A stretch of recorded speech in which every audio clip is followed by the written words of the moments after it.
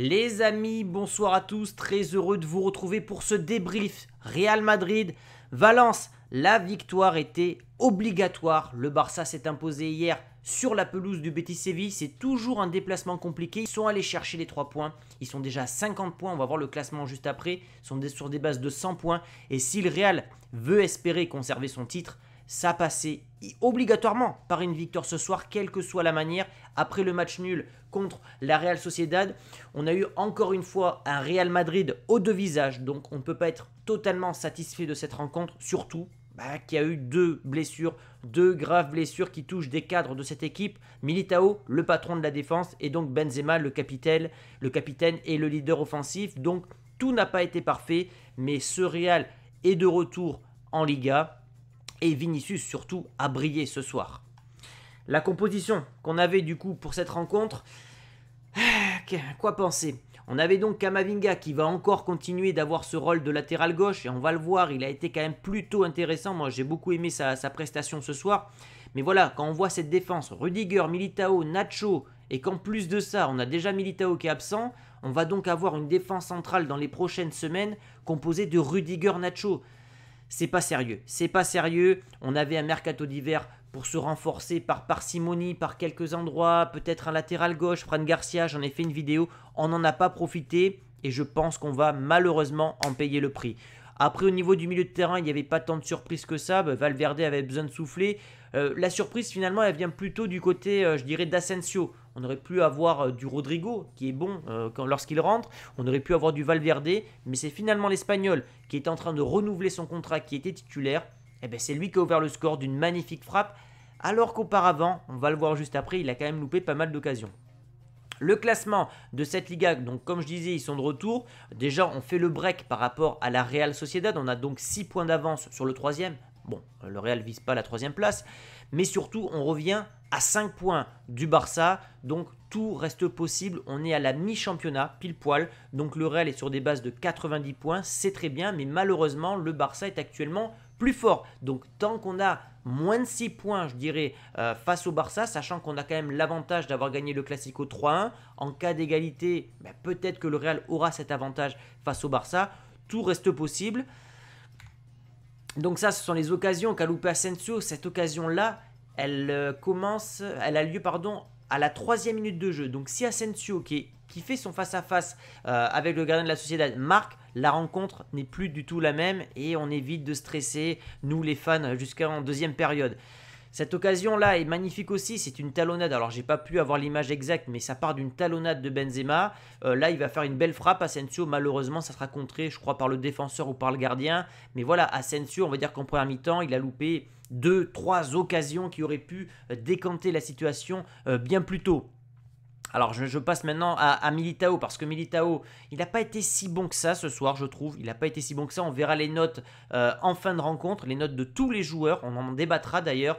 Mais voilà, la, mauvaise nouvelle, c'est que Militao est absent. Donc à l'heure où je tourne la vidéo, je n'ai pas la nature exacte de sa blessure. Mais bon, si on se déplace à Anfield avec une charnière centrale Rudiger-Nacho qui n'a jamais joué ensemble, je crains le pire. Je crains le pire, donc euh, voilà, j'espère évidemment que ça ne sera pas trop grave, mais là aussi, tu peut-être l'occasion de, je sais pas, d'aller prendre un joueur en prêt, tu avais Cancelo qui était en prêt, enfin ça aurait pu te soulager, il y avait moyen de, se renforcer sans dépenser. Tu avais Cancelo qui aurait pu te dépanner à gauche, à droite. Tu avais Fran Garcia, bon bref, c'est décevant, je vais pas revenir sur ça, mais en tant que fan, et je pense qu'on est nombreux à le penser, euh, ne pas s'être renforcé pendant ce mercato, ça, j'ai peur qu'on le paye euh, durant la, fin de saison. Et puis la deuxième blessure, c'est celle de Benzema. Et celle-là, elle est très problématique. Même si Benzema, je ne l'ai pas trouvé si bon que ça. Hein. Depuis euh, qu'il a eu son ballon d'or, il est bon, il marque de temps en temps. On n'est pas sur le Benzema hors du commun de la saison dernière. Donc Benzema qui va évidemment nous manquer. on risque d'avoir une attaque composée donc de Vinicius, Rodrigo, Valverde je crois que c'est une blessure derrière la cuisse qu'il a, donc on verra. Pareil, on va attendre, mais euh, plutôt inquiet quand même de, bah, des deux blessures. Hein. Quand Militao, Benzema, ça reste des joueurs cruciaux pour le Real Madrid. Il y a eu cette histoire de VAR, ça m'a rendu fou. Cette histoire de penalty, non, de, but euh, refusé à, à Rudiger pour une histoire de VAR où Benzema va finalement se débattre sur le corner. Et sur cette faute-là, le joueur de Valence ne prend même pas un carton jaune sur cette semelle immonde sur Kamavinga. Kamavinga qui, comme je disais en introduction, je l'ai trouvé très intéressant. Bon, alors il n'a pas eu à défendre. C'est vrai que son point faible, c'est le jeu sans ballon. Il n'a pas eu à défendre, faut le noter. Mais je l'ai trouvé quand même très très bon et il boit un peu la concurrence. Alors j'ai choisi cette photo parce que on va voir que son apport offensif n'a strictement rien à voir avec celui de Mandy. Il a, je trouve, beaucoup participé. Euh, il est rentré dans les demi-espaces, il, enfin, il a dédoublé Vinicius pour proposer des solutions, chose que ne fait jamais finalement Mandy. Il a même frappé, je crois, deux fois au but.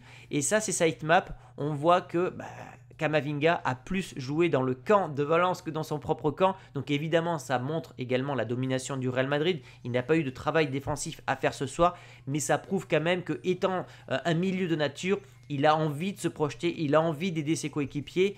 Et en ça, c'est vrai que Kamavinga euh, peut dépanner en tant que latéral gauche. Alors ça, c'est la célébration sur le but d'Asensio. Je n'ai pas l'image, je n'ai pas le droit de mettre de vidéo ou d'image du but d'Asensio. pardon. Euh, un but magnifique. Et euh, c'est vrai qu'il nous dépanne euh, quand même, je dirais peut-être 5 à 10 fois par saison grâce à ses frappes. Mais il devrait tenter, je pense, plus encore. Parce qu'il a vraiment une frappe puissante, mais surtout précise. Parce que ce soir, elle est petit filet, le gardien de Valence ne bouge pas. Et c'est une arme qu'on n'utilise pas assez. On va le voir juste après. J'ai une map assez intéressante. Le deuxième but arrive 30 euh, secondes après ou 2 minutes après, celui de Vinicius, euh, où il va accélérer par rapport aux défenseurs de Valence. Et ça, c'est intéressant parce que, enfin, c'est surtout intéressant, c'est très bien pour lui parce que c'est un joueur qui était en manque de confiance, je trouve, lors des derniers matchs, en manque de réussite. Et euh, ça se traduit par des mauvais choix, que ce soit dans les passes, au niveau des frappes. Là, le fait qu'il est marqué par un plat du pied en jouant simple, notamment, je trouve qu'il a joué beaucoup plus simple en seconde mi-temps mais ça reste un joueur qui a besoin de souffler et malheureusement Ancelotti ne le sort pas assez. Voilà. Vinicius, c'est le, mal de ce joueur, c'est qu'il se fait toujours tabasser, et j'utilise bien le mot euh, tabasser, j'espère que YouTube ne va pas me démonétiser cette vidéo, mais le nombre de fautes que subit ce joueur, euh, enfin, enfin j'ai envie de dire un carton rouge contre les, les joueurs qui font des, des, attaques, je ne vais pas dire un mot trop violent, mais vous aurez compris, euh, des attaques trop violentes contre lui, et étant donné qu'il n'a pas encore la réputation d'un Messi ou d'un Cristiano Ronaldo, il n'est pas défendu par le corps arbitral comme il le devrait. Mais en tout cas, merci l'arbitre pour cette expulsion parce que Vinicius prend trop de coups et il y a de quoi le dégoûter par moment.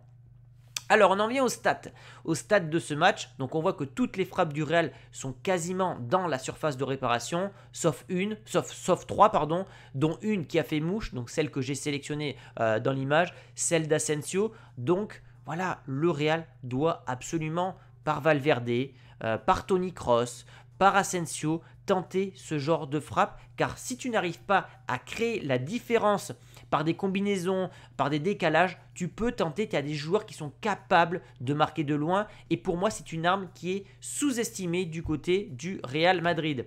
On arrive aux notes des joueurs, les amis. Alors, les notes, elles viennent de euh, SofaScore. Donc on voit que le Real a une euh, moyenne de 7,07. Ça, c'est très bien. On est sur un, 4-3-3, mais on va bientôt passer sur un 4-2-3-1. Le plus mauvais joueur, finalement, bon, ils mettent Courtois, mais Courtois, il n'a pas touché un ballon. Donc en même temps, compliqué d'avoir une bonne note. Militao n'a pas été bien noté. Euh, moi, je ne suis pas non plus très satisfait de la performance de Nacho, mais on verra mes, mes tops et mes flops juste après ça. Euh, un milieu de terrain qui a plutôt bien fonctionné, notamment euh, Dani Ceballos qui confirme qu'il est en très très grande forme. Euh, Kamavinga confirme qu'il a été bon, et moi il est dans mes tops, sans vous spoiler.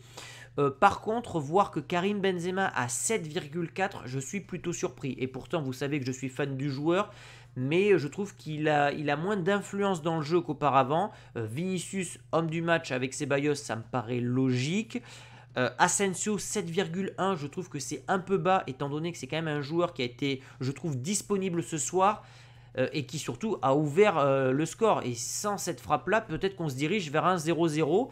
Donc je dirais que je, trouve que les notes de Nacho et de Benzema sont un peu surélevées. Voilà.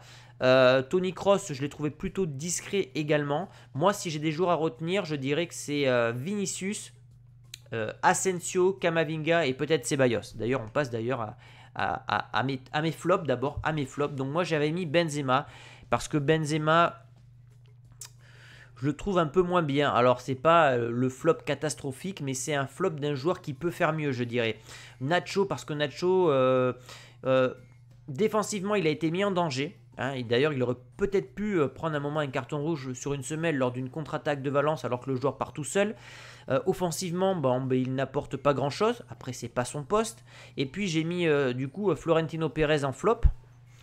Oui, j'ose le dire parce que on est quand même, je trouve, un peu sur la sellette, le Real, entre euh, ben, l'effectif qui est de plus en plus réduit, euh, la fatigue des joueurs. Je rappelle que de la semaine prochaine, je crois qu'on va jouer le Mondial des clubs.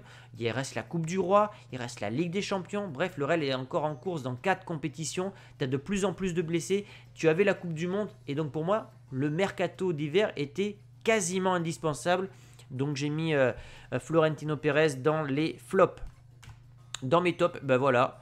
Ah, j'ai mis Rudiger. Ouais, j'ai mis Rudiger, mais j'aurais pu mettre Kamavinga. Euh, je pensais que j'avais mis Kamavinga. Alors, j'ai mis Rudiger pourquoi? Parce que c'est un joueur qui a perdu seulement 3 duels en 4 rencontres. Donc, ça, c'est quand même très intéressant.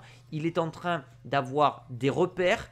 Il a marqué un but qui aurait dû être accepté euh, ce soir. Donc je trouve que Rudiger devient de, plus en plus intéressant euh, avec ce Real. Euh, Asensio, évidemment, parce que c'est quand même le premier buteur, même s'il a gâché, et je pense que ça peut expliquer justement cette note de, de 7,1, c'est parce qu'il a quand même gâché en première mi-temps. Euh, et, ensuite, j'ai mis Vinicius parce que pour moi, c'est l'homme du match. On a retrouvé le bon Vinicius, surtout en deuxième période. Euh, mais euh, bon, voilà, j'espère qu'il va pas jouer quand même tous les matchs. Et maintenant, je vous pose une question. Que doit faire ce Real Madrid au Mondial des clubs? Est-ce qu'on doit amener l'équipe titulaire? Est-ce qu'on doit faire un mix des titulaires ou des remplaçants ou carrément amener des joueurs du Castilla?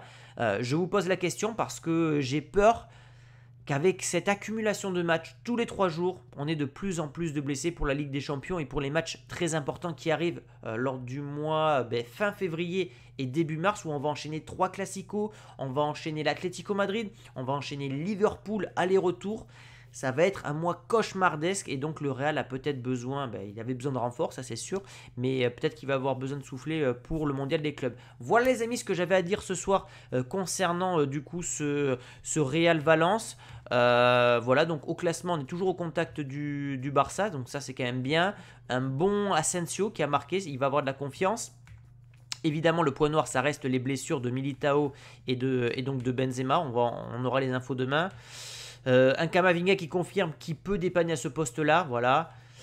Un Vinicius retrouvé, et puis, euh, et puis voilà, c'est quand même une bonne soirée pour, pour nous ce soir. Voilà les amis ce que j'avais à dire, donnez-moi donc vos tops et vos flops, et on se retrouve très prochainement pour une prochaine vidéo. Ciao les amis